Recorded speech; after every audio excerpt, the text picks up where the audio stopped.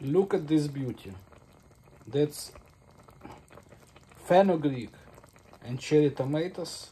I put it on slow uh, cooking. So it's kind of matures the sauce for the for the pasta or macaroni.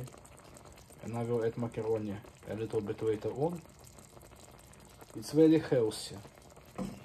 It's very healthy. Look at this texture.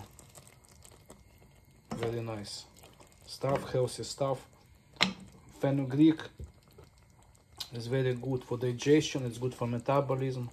It's good to normalize cholesterol, to, to normalize blood sugar, normalize metabolism.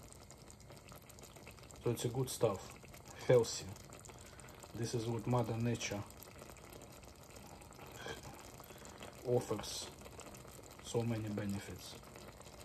And I will add and and, and I will add macaroni which has a lot of fiber. So it's a good food.